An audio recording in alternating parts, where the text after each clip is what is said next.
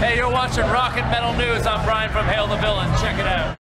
Hey guys, this is Ron from YouTube's Rock and Metal News with a Rock and Metal News update. Leprous have announced a spring North American tour. The band Wheel is support.